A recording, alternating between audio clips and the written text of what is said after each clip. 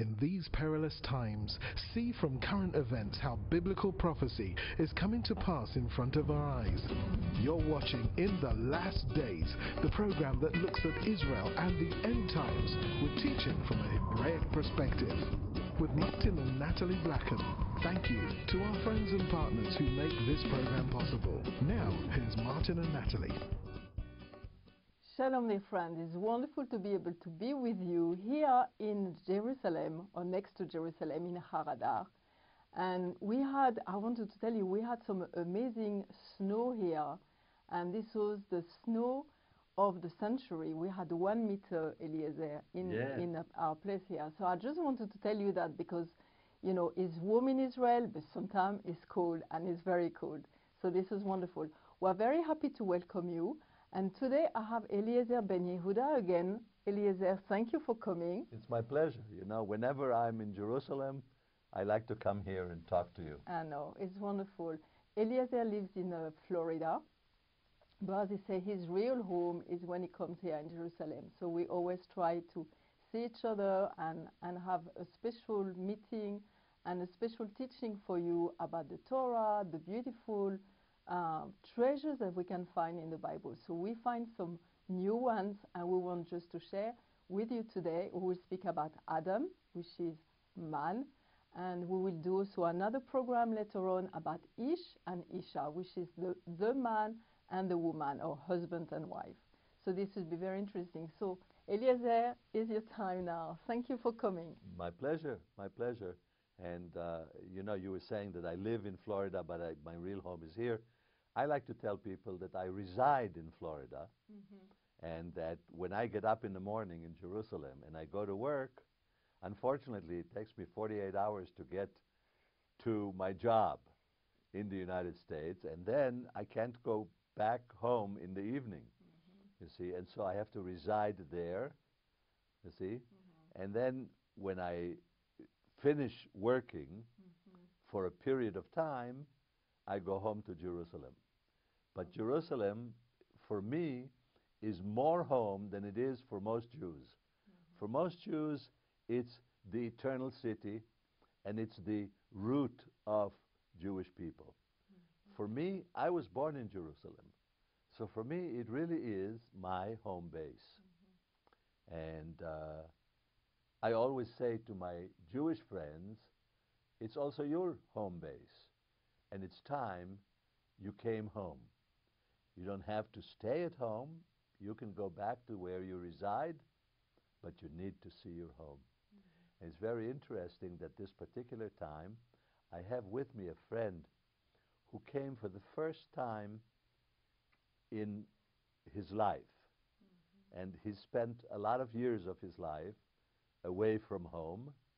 And when he came here, he has been awestruck by everything that he has seen. And he said, You know, I never realized that it would be like this. I had an entirely different idea of what it is going to be like. But now that he has seen it, he says, I have to come back. And I have to I have to really get to know the place because it's gotten under my skin. And I think you feel the same way. And you know, I always fe- felt, and I've made it my ministry, to work with what we call Bible believing people. Mm-hmm. You see? And if they are Bible believing people, whether they're Christian or whether they're Jews, they have the same roots. And they're all blessed by mm-hmm. the seed of Abraham and by the teachings of Moses and by the teaching of Jesus the Jew. So there it is. This is what we look at. Now, when we talk about what we in, uh, uh, in the Jewish people, we call this our scriptures, Tanakh, and uh, in Christianity it's called the Old Testament. Uh, one has to realize that the source is written in Hebrew and that there is no such thing as a perfect translation. Every translation is a compromise. I think that one time when I was here and we were talking about mm-hmm. the land, remember? I told you about an experience that I had when I went to the Grand Canyon. I saw a picture which was a mural, mm-hmm. and it was beautiful. You know, it was a whole big wall, and it showed the Grand Canyon. And I was impressed by it. And then one day, I went to the real thing, and guess what? The picture was nothing like mm. the original Grand Canyon. The same is true for the Hebrew Scriptures. Unless you learn the Hebrew, unless, you know, ministers, when they study for the ministry, they need to have a Hebrew speaking professor at their seminary who can teach them their Old Testament from the Hebrew sources. And then they're going to learn something which is three dimensional, mm-hmm. or maybe even more than three dimensional. After all, this is the words of the eternal God. We are three dimensional, mm-hmm. but God is multidimensional. And so is his book. Mm-hmm. We believe, you know, there's Jewish mysticism, mm-hmm. and we don't believe in making everything mysticism. You know, some people think that they have to study this mysticism, and they go overboard in it, you know, and it almost becomes like reading tea leaves or something like that, you know. Mm-hmm. That's not what Jewish mysticism is all about. But what we teach is that our mysticism tries to enter into a fourth dimension, mm-hmm. which is called the mysterious. Mm-hmm. You see. So, one of the things that we say is, you know, we say that God is without time. He's outside of time. He is, you know, He's all powerful. He's all this. He's all that. He's all knowing. And He is all time. Mm-hmm. God has been since before the beginning. There's no beginning to God. And of course, there's no end to God. Our experience is, you know, 70 years, if we're lucky, 80 years, 90 years, 100 years, and then we pass away. So we try to imagine what it was like in the days of our grandfathers or great grandfathers or five generations back or ten generations back. But everything we know is two dimensional because we read it in a book or whatever have you. You see, in the eyes of God, there is no time. So, a split second, you know, like a blink of an eye ago, he said, Let there be light. A blink of an eye ago, there was nothing. And here we are today. All of this is time. And then we talk of end times. But for God, there is no such thing. You see? And the only reason we think of end times is because we end. So we say, oh, you know, we end. One of these days, there's going to be an end time. But in the clock of God, mm-hmm. there is no end time. There is just the future, the present, and the past in this order. That is why God, when He told us what His name is, told us that the name is Eheye and not I am, Ani, Anochi. You see? Mm-hmm. I am is, you see, in the present. I am that I am. Mm-hmm. But actually, in the scriptures, in the Hebrew scriptures, it says, Eheye asher eheye. I shall be that I shall be. You see? So there it is. That's the thing. Now, leaving God for a minute, while He's always there for us, we want to talk a little bit about man. And there are many stories in Judaism, uh, legends, folk tales, whatever you want to call them, about the creation of man. And I had a rabbi once who said that God made one mistake. He says, You know, please don't think that I'm sacrilegious. But if God would have asked me, I would have told him not to make man. Because man is duplicious. And in the Hebrew, it's very interesting that when it talks about the actual making of a man, mm-hmm. you see, it uses two yuds. You see? Vayitzer, and he created. Mm-hmm. And it says Vayitzer is Vav Yud Yud Tzadi Resh. And everywhere else in the scriptures, and they use the word and he created mm-hmm. many times after it, all of them are written with only one Yud. So why are there two Yuds? It says one of the reasons is to tell us that the, uh, you know, if you just look at the three last words, Yud Tzadi Resh, it means Yetzer. And Yetzer is an inclination. So we have Yetzer Tov, which is the right, incl- good inclination, and we have Yetzer Ra, which is the evil inclination. And to tell us that man was born with both of them, they put two Yuds. You see, one is for the first uh, uh, Yetzer, and the second one is for the second Yetzer. To tell you that man is capable of good choices and of bad choices.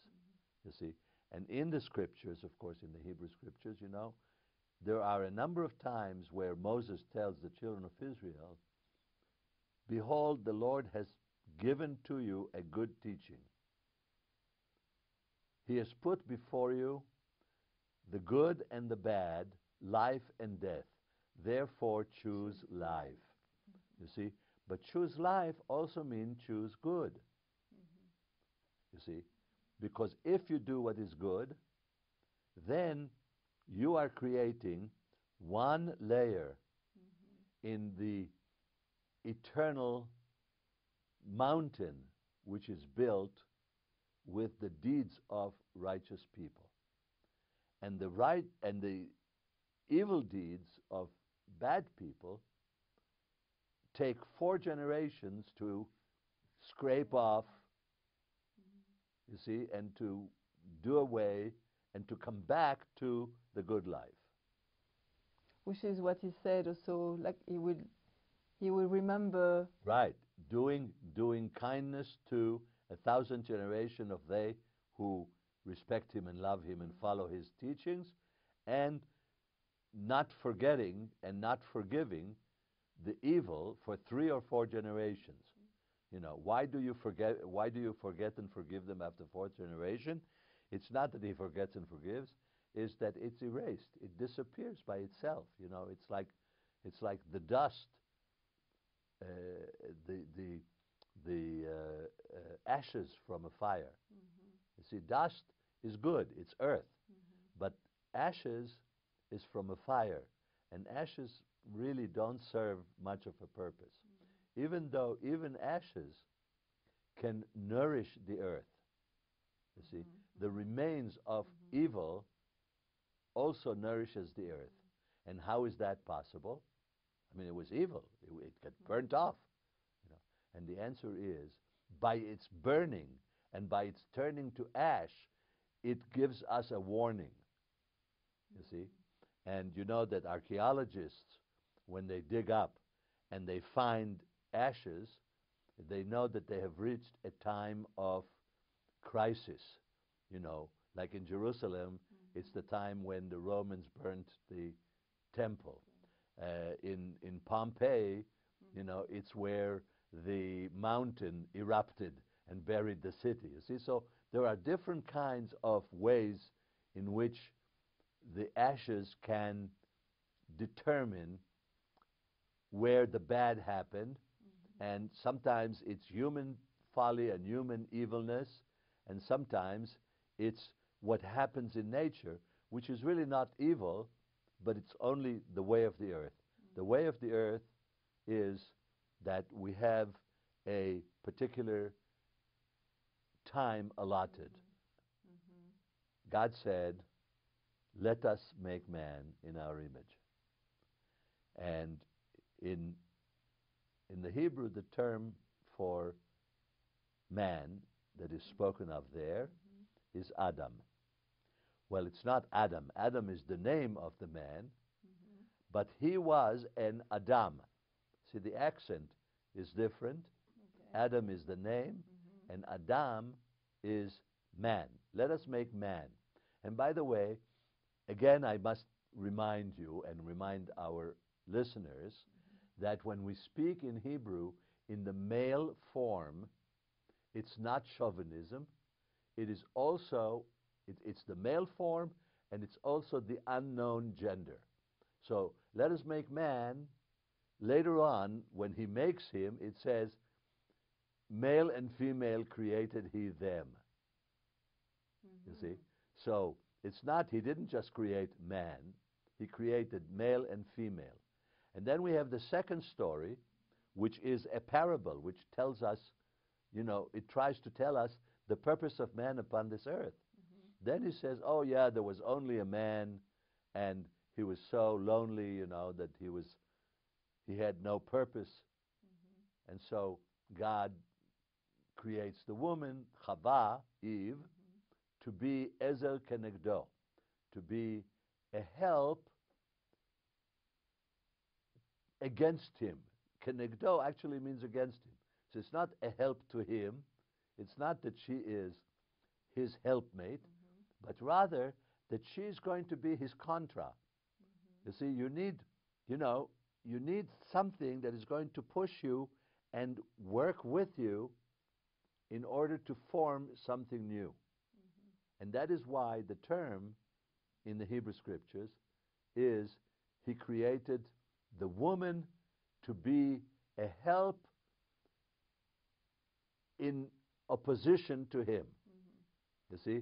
And together they merge and they make one. Mm-hmm. So they are more themselves together. Yes, they're more than themselves. And at the end of the year, oh, uh, sorry, at the end of their years, they are Mhm. more, Yes, absolutely. when it's a good marriage. Yes, yes. Is the And, purpose. and, and and it says in the scriptures, after it talks about the creation of the woman and, and, and Adam, the first man, now by name Adam, says, I shall call her Eve because she is a bone of my bone and a flesh of my flesh. You see? And then there's a little sermon there. Mm-hmm. You know, there's, there's a verse that kind of concludes the whole story, and it says, Therefore shall a man leave his father and his mother, and cleave unto his wife, and they shall be as one. Because that is the way it's meant to be. We're not supposed to be celibate. Mm-hmm. We're not supposed to live alone.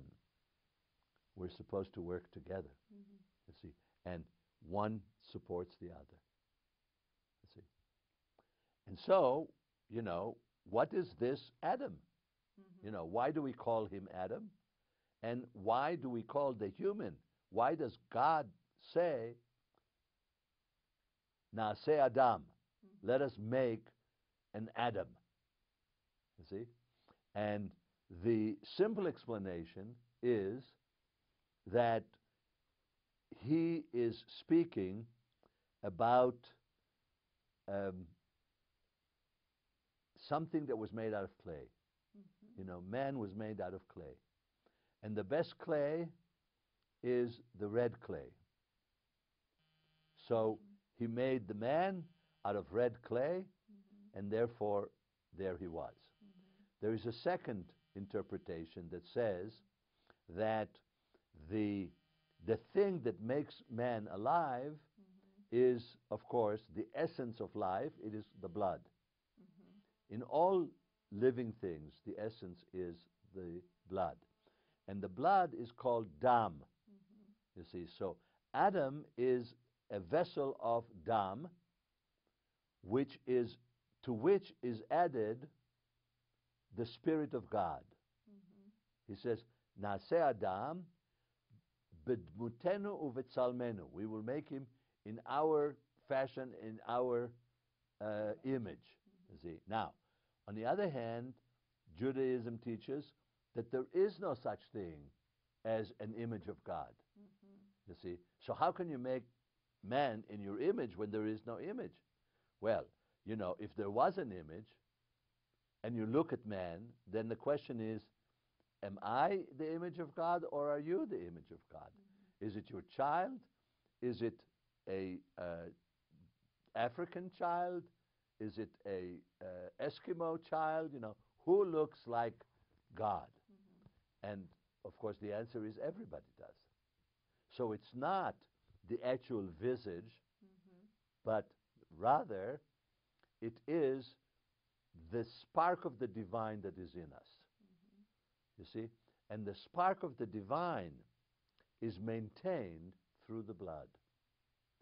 And when the children of Israel uh, were just started, they decided that they're going to have a um, offering of sacrifices, and those sacrifices were uh, called uh, korbanot, which came from the word lekarev, to bring you closer to God, mm-hmm. and many times the animal that was sacrificed mm-hmm. was actually eaten by the people. Mm-hmm. So why is it, you know, how is it a sacrifice? And the answer is the blood. The blood of the animal that was sacrificed was uh, shed on the altar. You see, the dam was shed on the altar, and that blood was truly the sacrifice because with the blood, life comes to an end. And you have given up a life. And that is how you bring yourself closer to God. You make a sacrifice. You make an offering that something that is there and something that has the potential for a long life is going to be curtailed with the dam. And so we, as Bnei Adam, the sons of man, which mm-hmm. means human beings, you see, we have this offering of sacrifices. Now, is it necessary to do that? In Judaism, we say no, it's not necessary. Mm-hmm. One might say that every prophet of Judaism suggested that God doesn't find pleasure in the smell of burning flesh. Mm-hmm. And you know what? Unless you put spices on it, even barbecue doesn't smell very good. But God wants people to live by His law. Mm-hmm. And that is where the sacrifice is. so that's that. hmm Do you have just the time to say so? I was a nurse before, and I like the the chromosome with the name of Adam. You know the number. Well, when we come bu- to talk about the numbers, you know, we're talking about um, we're talking about what is called numerology, and numerology is again part of Jewish mysticism. Mm-hmm. And in Jewish mysticism, as you and I have discussed before, there are numbers that are very significant numbers. Mm-hmm. And the Hebrew alphabet has numbers, and these num- numbers can be added and reduced to the lowest number possible. So if you come up with something that, let's say, is 123, mm-hmm. so you say 1, 2, and 3 will be 6. Mm-hmm. You see. And uh, the word Adam is Aleph is 1, Dalet is 4, and Mem is 40. Mm-hmm. So we have 4, 4, and one 40 is just 4. It makes the number 9. The number 9 is the product of 3 times 3. In other words, the square root of 9 is 3. And, And according to the Hebrew tradition, based on Moses meeting God and challenging him, Who shall I say sent me? In all the translations, you read God answering and saying, I am that I am. But actually, that's not what he says. He says, I will be what I will be. and I will be that I will be is Aleph, Hey, Yud, Hey. Aleph is 1, Hey is 5, Yud is 10, and Hey is 5. So 5 and 10 is 15, and another 5 is 20, and 1, 21. 21 makes 3. 2 plus 1 is 3. You see? So 3 is the sum, the reduced sum of the name of God, quote unquote, and Adam is the multiplication of three by itself. It's that God says, I will make a man in my image. Mhm. Thank you, Eliezer. We, you see, we have, when we start to speak about God and man and who we are in the Torah, we need eternity. But obviously, we had only 28 minutes. So we see you next year, uh, next week. And it's been wonderful to be with you, Eliezer. Thank you for coming and take the time to explain to us, you know, the depths of what we have in the Bible. And to you, my dear friends, shalom, shalom. And don't forget, we're living in the last days.